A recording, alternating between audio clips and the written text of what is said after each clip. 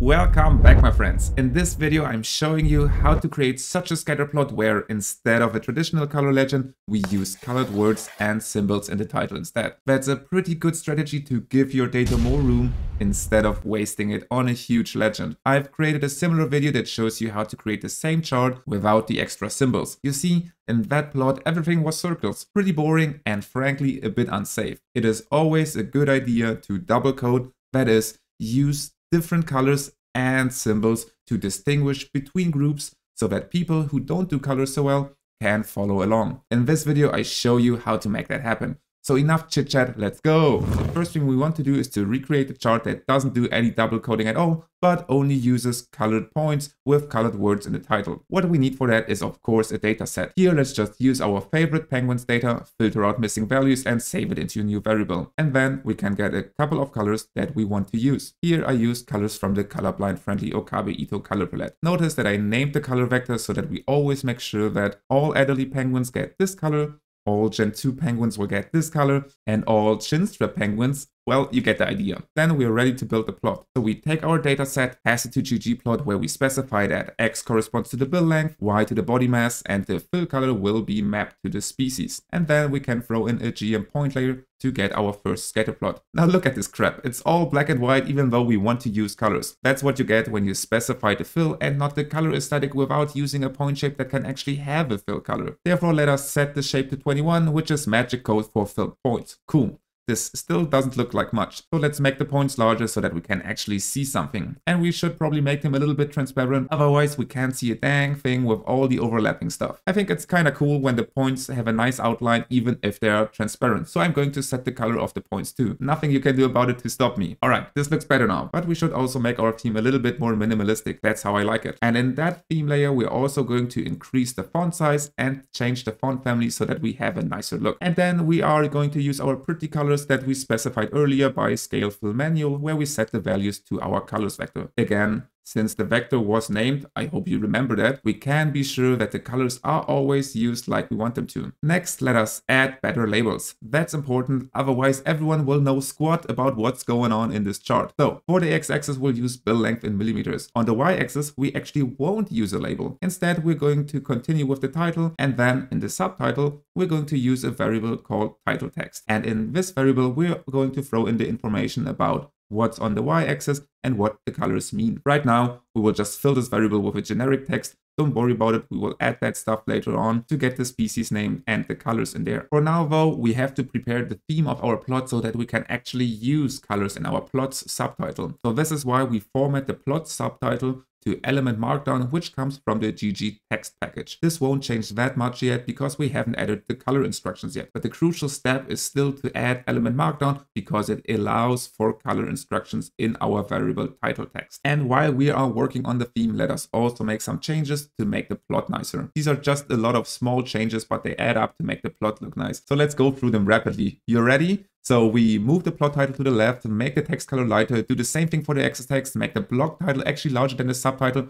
use a different font family in the title as an eye-catching element, add a small border around the panel, make the grid lines a little bit lighter, remove a couple of grid lines, and finally we are going to remove the legend. Oof, that's a lot of changes in a short amount of time. Hope you're happy with the results. In any case, we remove the legend since we want to have that information in our subtitle. For now though, let us comment out this specific line so that we can make sure that our text uses the correct colors in the end. Once we're sure about that, we can uncomment that line again. All right, now that all the theme stuff is done, we are ready to change our title text variable. As the first step, let us throw in the species name. So we're going to add Adelie, Chinstrap, and Gentoo. I put everything here on a new line, but Glue will actually connect everything. But I did this to make sure that our code is more legible because we're going to add a lot more stuff in there. And it's good if it's on separate lines then. Finally, we are getting rid of those dots as we don't need them anymore. And we're going to add the comma that is missing. Cool, so now we have our species name in there. Notice that these are bold because we have used markdown notation that makes the text bold. And don't forget that we have just now enabled markdown notation in our plot subtitle. This is why this rendering is bold. Now in markdown, we can also use HTML code.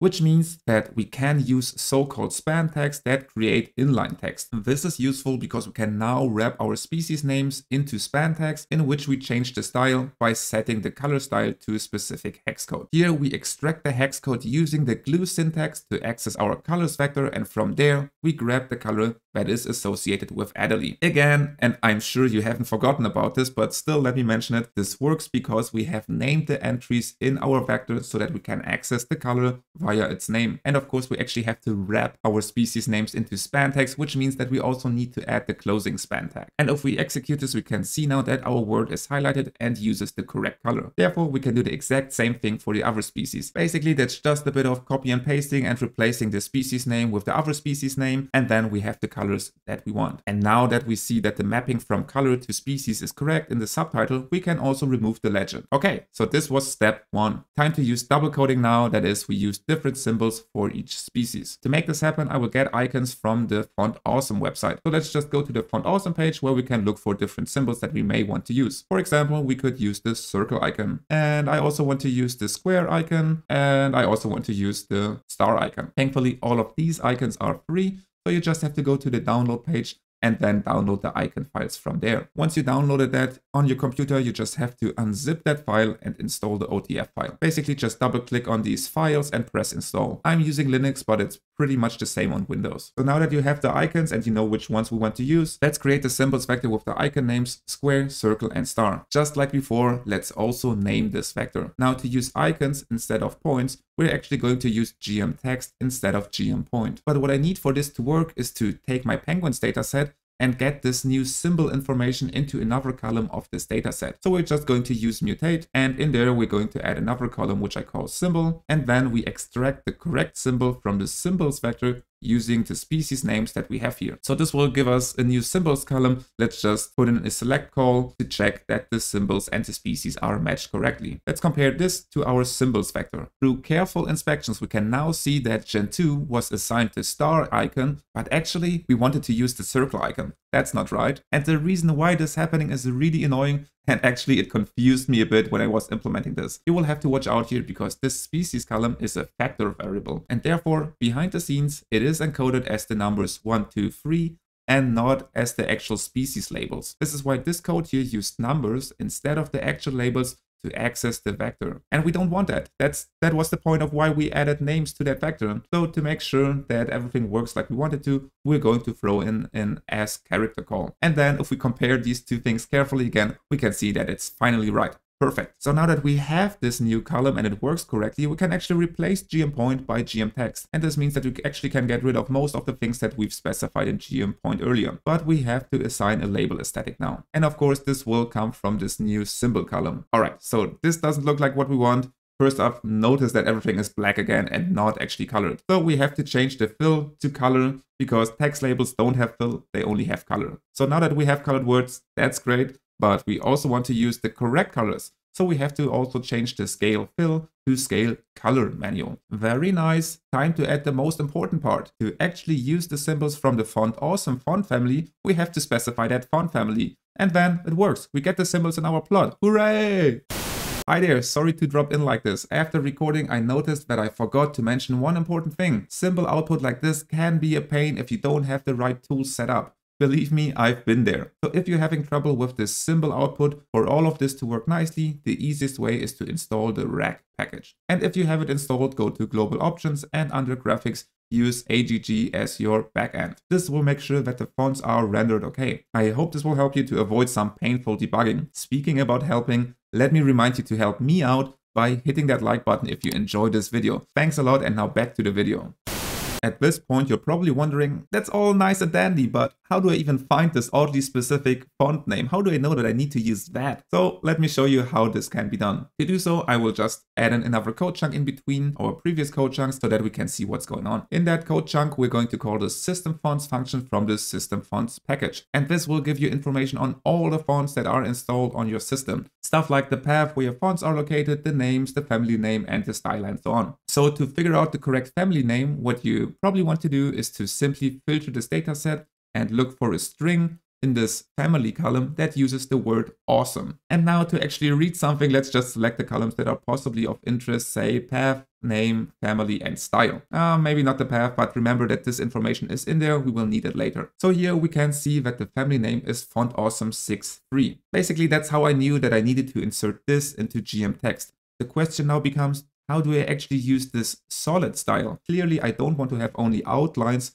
for my icons in the plot. I want to have solid squares, circles, and stars. And it is a shame that ggplot asked for what is in this family column here and not for what is in the name column because in this name column we can actually see that it differentiates between the regular style which we have in our plot now, and the solid style that we want. The family column just lists the same thing for both cases, which is kind of dumb. But I guess we just have to live with that. Let me show you how to work around this. The workaround is to take this row that you want to use, and from there assign this font family to a new name. So that's why we filter our system fonts output for solid styles. And since we know that our original data set shows us where the file for this font is located, we can pull that path and this will give you the location of the solid font file. Then we can pass this path to the system fonts package to register a new font. In there we can specify a new name, so let's borrow the name that we already use anyway and add a solid to that. And finally we have to assign the path that we extracted to the plain argument. If you are unfamiliar with R's built-in pipe, this is the placeholder variable that you need to use when you want to pull a stunt like this. And now once this is executed, the font is registered via this new name. So we can add this new name to our plot and it looks like what we wanted to. Well, maybe we can make the symbols a bit smaller and a bit transparent but then it looked quite nice. So we're almost done. We have our symbols in the plot, time to get them into the title as well. As you probably guessed, we need to get this into the title text variable. To do so, let's just make a little bit of room in the glue function and just work on the first species. It doesn't actually matter for the code execution if there's white space in there, but this makes our code a little bit more legible. Again, we're going to throw a lot of stuff in there so we can use as much space in there as we can get. The first thing I want to do here is to stretch everything out a little bit and make what we have so far a bit nicer to read because we need to nest more span tags. So let's just put everything onto new separate lines. Then we can also add open and close parentheses to this so that we can throw in a symbol between these two open and close parentheses. To get the symbol in there, we use the glue function syntax again to extract the correct symbol for our species from the symbols vector. This will extract this word square from our vector.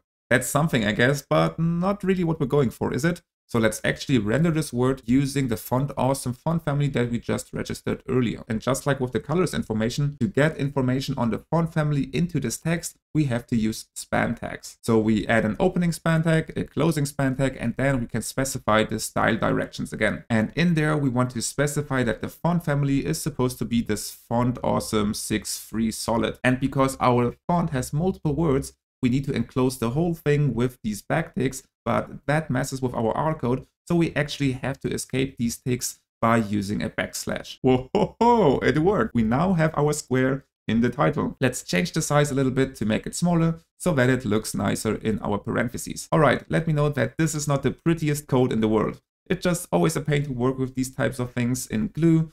There are a couple of helpful functions that can help you with that, but most of the time I feel like they are not worth the additional effort of just throwing the stuff together like we did. Anyway, once you have that, you can just copy and paste everything and change the name to Chinstrap. This will give us the star in the title, and then we can do the same thing with the last species and replace Chinstrap with Gentoo everywhere. And then we have the colored circle in there too. But we actually have one comma too much, so let's remove that. Now, to make this a bit nicer to look at, let's add a bit of room in front of the open parentheses. And also, if you're not a fan of the Oxford comma, then you can remove that comma here as well. The choice is yours. In any case, look at the cool stuff we built here. We have used double coding to make sure that everyone can read our chart nicely, even if they can't see colors that well. And we avoided making a huge legend for this. That's a pretty huge win in my book, if you ask me. Now, if you want to learn more about ggplot, check out this video next where I show you how to create bump charts, which are great for rankings over time. And if ggplot is not your thing, check out this video where I show you a foolproof strategy